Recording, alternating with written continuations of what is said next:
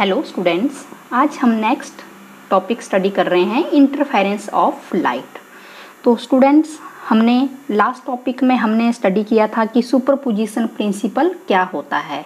तो superposition principle में हमने सबसे पहले कंस्ट्रक्टिव सुपरपोजिशन के बारे में स्टडी किया था और उसके बाद डिस्ट्रक्टिव सुपरपोजिशन के बारे में स्टडी किया था।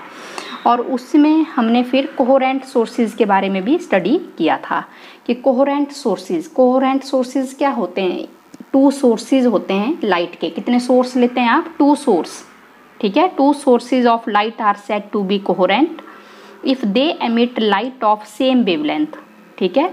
अगर वो सेम वेवलेंथ वाली लाइट को एमिट करेंगे सेम फ्रिक्वेंसी वाली लाइट को एमिट करेंगे और साथ में आप ये भी कह सकते हैं कि वो दोनों फ़ेज़ में होने चाहिए फ़ेज़ में होने चाहिए और कैसा कांस्टेंट इनिशियल फ़ेज़ डिफरेंस होना चाहिए।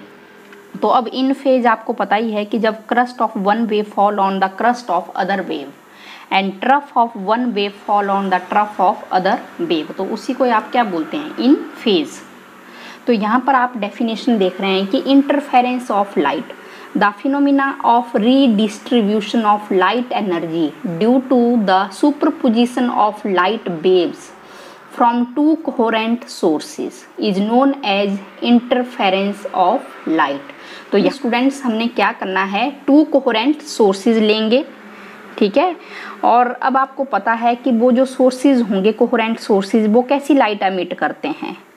Same wavelength having same frequency और या तो वो इन फ़ेज़ में लाई करेंगे, या तो फिर आप क्या बता सकते हैं? Having constant initial phase difference तो यहाँ पर स्टूडेंट्स बिल्कुल इजी टॉपिक है कि इंटरफेरेंस ऑफ़ लाइट किसे कहते हैं? तो the phenomena of redistribution of light energy due to the superposition of light waves from two coherent sources is known as interference of light अब स्टूडेंट्स जैसे single source की हम बात करते हैं फॉर एग्ज़ाम्पल के लिए ये सन है।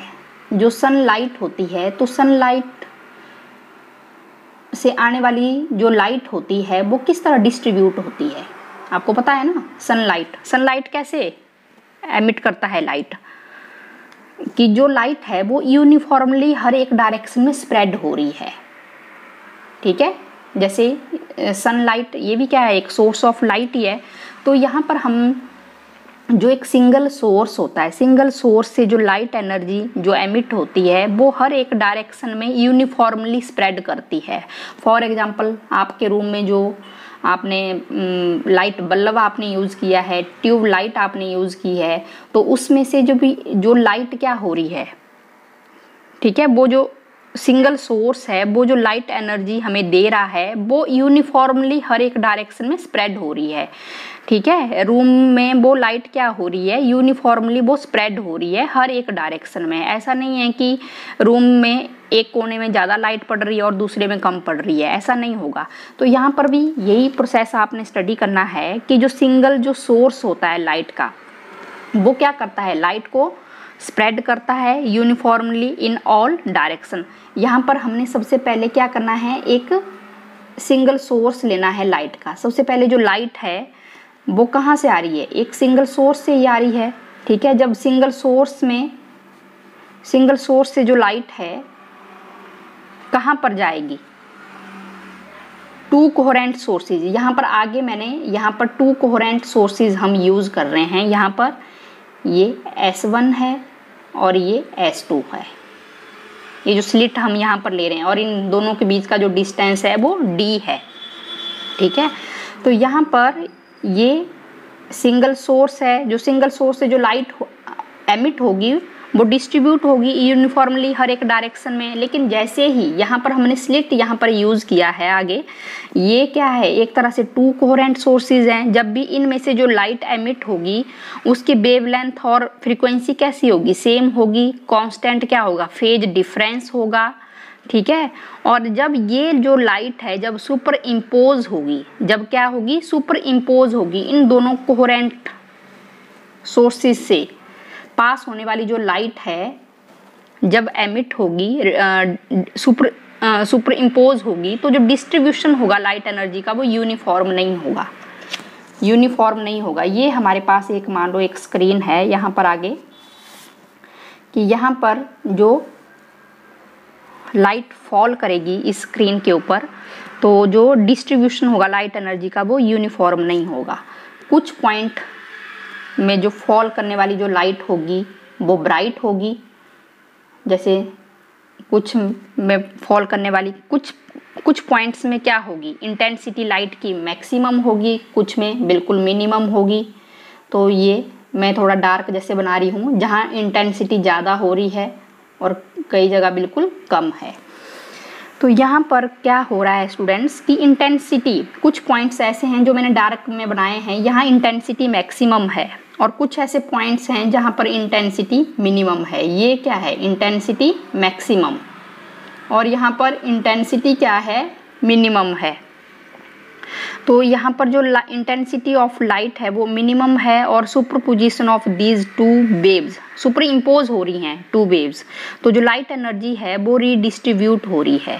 तो रीडिस्ट्रीब्यूट होने की वजह से ही इस तरह के फिनमिना को ही हम इंटरफेरेंस ऑफ़ लाइट कहते हैं. ऐसा नहीं है कि आप बताओगे कि इंटेंसिटी मैक्सिमम क्यों आ रही है? क्यों आ रही है? तो क्योंकि इस केस में क्या हो रहा है स्टूडेंट्स कि इंटेंसिटी मैक्सिमम कब होती है? जब ये हमारे पास एक वेव है crest of one wave fall on the crest of other wave and trough of one wave fall on the trough of other wave तो जो रिजल्टेंट जो इंटेंसिटी हमारे पास आती है, वो मैक्सिमम आती है।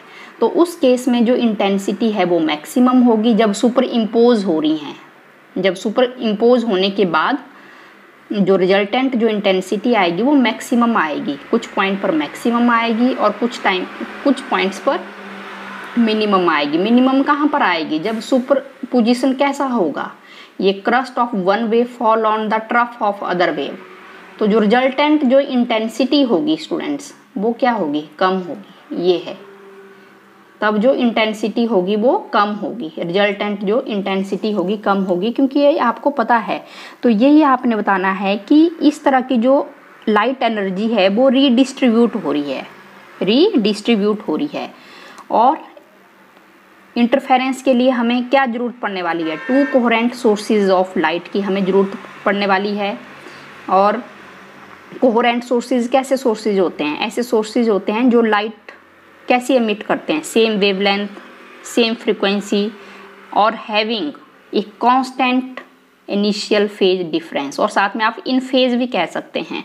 तो ये अगर सिंगल सोर्स होगा तो सिंगल सोर्स से पास होने वाली जो लाइट होगी वो कैसी होगी? वो डिस्ट्रीब्यूट हो जाएगी यूनिफॉर्मली इन ऑल डायरेक्शन लेकिन अगर वही लाइट सोर्स से पास होने के बाद अगर हम उसको कहाँ से पास कर रहे हैं? यहाँ पर हमने टू कोहरेंट सोर्सेज ले लिए हैं। ये जो आगे आपने ये स्लिट जैसी मैं बता रही हूँ, ये टू कोहरेंट सोर्सेज है। तो यहाँ से जो पास होने वाली जो लाइट होगी, वो यूनिफॉर्म नहीं होगी। कुछ पॉइंट्स पर हमें स्क्रीन अगर हम यूज़ करेंगे तो कुछ पॉइंट्स पर हमें लाइट की इंटेंसिटी ज़्यादा मिलेगी, कुछ पर बिल्कुल कम मिलेगी। तो इस तरह का जो रीडिस्ट्रीब्यूट होगा लाइट एनर्जी का, उसी को हम इंटरफेरेंस ऑफ़ लाइट वेव्स कहते हैं। तो ये आपको पता लग गया है कि कुछ पॉइंट पर इंटेंसिटी मैक्सिमम क्यों है और कुछ पॉइंट पर मिनिमम क्यों है, क्योंकि जो यहाँ पर टू वेव्स जो एमिट कर रहे हैं टू कोहरेंट सोर्सेज जब वो सुपर इम्पोज कर रहे हैं आपस में सुपर इम्पोज अगर वो कंस्ट्रक्टिव सुपर पोजिशन शो कर रहे हैं तो जो इंटेंसिटी मिलने वाली है इस केस में, वो ज़्यादा होगी। अगर टू जो लाइट वेव्स हैं, वो क्या कर रही हैं? डिस्ट्रक्टिव सुपर पोजिशन शो कर रही हैं कि crest of one wave fall on the trough of other wave तो उस केस में जो मिलने वाली जो इंटेंसिटी होगी, वो मिनिमम होगी। ये मैंने आपको पहले भी बता दिया है, अगर आपने सुपर पोजिशन प्रिंसिपल अगर आपने स्टडी किया है तो आपको पता है, ये हमारे पास एक क्रस्ट है और ये ट्रफ है। है ना? ये आपको पता है when crest of one wave fall on the crest of other wave ये क्रस्ट है और इसी के ऊपर ही ट्रफ हमारा क्रस्ट के ऊपर क्रस्ट लाई कर रहा है ट्रफ के ऊपर ट्रफ लाई कर रहा है तो रिजल्टेंट जो इंटेंसिटी होगी स्टूडेंट्स ये होगी वो। ये रेड लाइन में मैं मैं आपको बता रही हूँ। ये मिलेगा आपको रिजल्टेंट इंटेंसिटी ये मैक्सिमम मिलेगा। मैक्सिमम तभी मिलेगा जब सुपरपोजिशन इस तरह का होगा। ठीक है? और मिनिमम के केस में आपको पता है कि मिनिमम में आपने बता देना है, ये हमारे पास क्रस्ट है और ये ट्रफ है। तो यहाँ पर क्या होगा स्टूडेंट्स ये क्रस्ट है और दूसरा ट्रफ है। तो जो सुपर पोजिशन जो हो रहा है, वो इस तरह होगा। क्रस्ट किसके ऊपर लाई कर रहा है? ट्रफ के ऊपर ट्रफ क्रस्ट के ऊपर। तो ये इस तरह के सुपर पोजिशन में जो इंटेंसिटी हमें मिलेगी, वो मिनिमम होगी। ये जो रेड लाइन में मैं बता रही हूँ, यहाँ पर इंटेंसिटी क्या होगी? है मिनिमम तो इस तरह की जब लाइट रीडिस्ट्रीब्यूट होगी आफ्टर सुपर पोजिशन तो जो इंटेंसिटी होगी मिनिमम होगी, जब एक तरह से डिस्ट्रक्टिव टाइप का सुपरपोजिशन शो होगा। जब लाइट वेव्स कहाँ से पास हो रही हैं? फ्रॉम टू कोहरेंट सोर्सेज और टू कोहरेंट सोर्सेज कैसे सोर्सेज हैं? ऐसे सोर्सेज हैं जो कैसी लाइट एमिट करते हैं? सेम वेव लेंथ वाली लाइट को एमिट करते हैं। सेम फ्रीक्वेंसी होती है। लेकिन ऐसा है कि फ़ेज़ डिफरेंस कैसा रहना चाहिए? कांस्टेंट रहना चाहिए। तो कुछ सर्टेन पॉइंट्स पर, जब हमने स्क्रीन पर इसको देखा तो कुछ ऐसे पॉइंट्स थे जो डिस्ट्रीब्यूशन जो लाइट एनर्जी का हो रहा था, वो यूनिफॉर्म नहीं हो रहा था। ऐसा नहीं है कि पूरे स्क्रीन में जो लाइट है, वो सेम आपको दिख रही है। कुछ पॉइंट्स में आपको लाइट इंटेंसिटी ज़्यादा दिख रही थी और कुछ में कम दिख रही थी। तो इस तरह की जो लाइट एनर्जी जब रीडिस्ट्रीब्यूट हो जाती है रीडिस्ट्रीब्यूट सिंगल सोर्स में नहीं होगा। इंटरफेरेंस ऑफ़ लाइट अगर हमने बनाना है तो हमें दो सोर्सेज की ज़रूरत पड़ेगी। टू सोर्सेज मतलब वो सोर्सेज कैसे होने चाहिए? कोहरेंट सोर्सेज तो यहाँ पर ये सिंगल सोर्स है तो सिंगल सोर्स से तो मैंने बता दिया कि बिल्कुल यूनिफॉर्मली हर एक डायरेक्शन में लाइट क्या होगी? डिस्ट्रीब्यूट होगी। लेकिन जैसे ही मैंने सिंगल सोर्स से लाइट पास करके मैंने यहाँ पर टू कोहरेंट सोर्सेज से पास किया, यहाँ पर लाइट क्या हो जाएगी? जो लाइट एनर्जी होगी इस केस में, वो री, रीडिस्ट्रीब्यूट हो गई।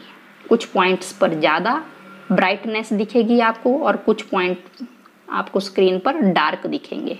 तो इस तरह के फिनोमिना को ही हम क्या कहते हैं? Students, interference of light. अब स्टूडेंट्स, इसी में ही मैंने आपको थोड़ा सा मैं फ़ेज़ डिफरेंस के बारे में भी बता देती हूँ और पाथ डिफरेंस क्या होता है। तो यहाँ पर मैं आपको बता रही हूँ, जैसे मान लो, ये हमारे पास, ये हमारे पास एक वेव है और इसी के ये सेकंड वेव है। सेम जैसा एम्पलीट्यूड है। और आप देख रहे हैं यहाँ पर स्टूडेंट्स कि जो लेंथ ऑफ़ सक्सेसिव क्रस्ट और trough is called wave length इसी को ही हम वेवलेंथ कहते हैं कि ये क्रस्ट है और ये ट्रफ है। The length of successive crest and trough is called wavelength तो वेवलेंथ को हम पाथ डिफरेंस लेमडा से हम, ये पाथ डिफरेंस है। इसको वेवलेंथ को हम लेमडा से हम डिनोट कर रहे हैं। हमने यहाँ पर रिलेशन फाइंड आउट करना है पाथ डिफरेंस कि पाथ डिफरेंस और फ़ेज़ डिफरेंस क्या होता है। तो मैंने आपको ये टॉपिक मैंने आपको थोड़ा सा पहले भी बता दिया है, जब हमने सुपरपोजिशन प्रिंसिपल हमने डिस्कस किया था। तो पाथ का मतलब ये होता है स्टूडेंट्स कि डिस्टेंस में कितना डिफरेंस है? ठीक है? डिफरेंस इन डिस्टेंस तो और साथ में फ़ेज़ डिफरेंस फ़ेज़ डिफरेंस यहाँ से लेकर आपको पता है ज़ीरो डिग्री ये 90 डिग्री ये 180 डिग्री या तो डिग्री में ले लीजिए आप, और आगे दोबारा ये 360 डिग्री तो फ़ेज़ डिफरेंस रेडियन में हम ले रहे हैं ये पाई रेडियन और इसके आगे अगेन ये पाई रेडियन तो पाई प्लस पाई कितना होता है? Phase difference phase difference. ये पाई प्लस पाई कितना होता है? ये टू पाई रेडियन होता है, टू पाई रेडियन। तो ये फ़ेज़ डिफरेंस है, टू पाई। अगर इफ़ यहाँ पर मैं ऐसे लिख सकती हूँ if path difference if path difference between two waves is lambda यहाँ पर हम देख रहे हैं path difference between two waves is lambda comma phase difference तो उन दोनों के बीच में जो फ़ेज़ डिफरेंस होगा फ़ेज़ डिफरेंस बिटवीन देम तो फ़ेज़ डिफरेंस हम मैं देख रही हूँ यहाँ से पाई और pi pi plus pi is equal to two pi two pi आप लिख लेंगे, ठीक है? तो फ़ेज़ डिफरेंस फ़ेज़ डिफरेंस को हम फाई से डिनोट करते हैं। Phi is equal to two pi तो मैं इसको ऐसे, यहाँ पर मैं इसको phi is equal to two pi आप देख रहे हैं ज़ीरो टू पाई और 180 degree to 360 degree pi plus pi two pi ये फ़ेज़ डिफरेंस आ रहा है हमारे पास कि किस डायरेक्शन में जो वेव है वो हमारी क्या कर रही है? ट्रेवल कर रही है। तो फ़ेज़ डिफरेंस को हम डिग्री में भी मैं बता सकती थी और रेडियन में भी, पर हम ज़्यादा इसको रेडियन में ही हम इसको लिखते हैं। अगर हम if path difference if path difference between two waves is delta x. Path difference को मैं डेल्टा एक्स ले रही हूँ। लेमडा की जगह मैं क्या ले रही हूँ? डेल्टा एक्स ले रही हूँ। देन जो फ़ेज़ डिफरेंस होगा देन फ़ेज़ डिफरेंस। अगर हमने पाथ डिफरेंस टू वेव्स के बीच में डेल्टा एक्स ले लिया है तो देन फ़ेज़ डिफरेंस। फाई कितना आ जाएगा स्टूडेंट्स टू पाई आ जाएगा और अपॉन में लेमडा आ जाएगा। टू पाई अपॉन लेमडा और साथ में मल्टीप्लाई आपने करना है path difference two pi upon lambda into path difference और पाथ डिफरेंस ये है पाथ डिफरेंस ये हमारे पास एक फार्मूला रहेगा तो आपने इसको याद रखना है कि फ़ेज़ डिफरेंस क्या होता है students phase difference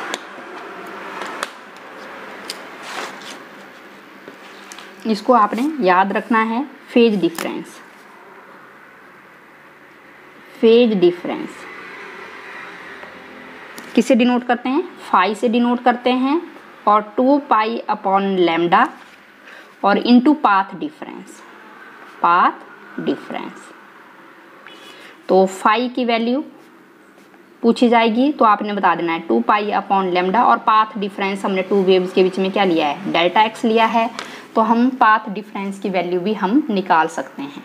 to waves का पाथ डिफरेंस अगर पाथ डिफरेंस निकालना है तो lambda x is equal to क्या आ जाएगा? Lambda upon two pi into phase difference phase difference तो ये हमारे पास आ जाएगा। Lambda upon two pi into phase difference क्या है? फाइव ऐसे करके। ये हमारे पास आ जाएगा।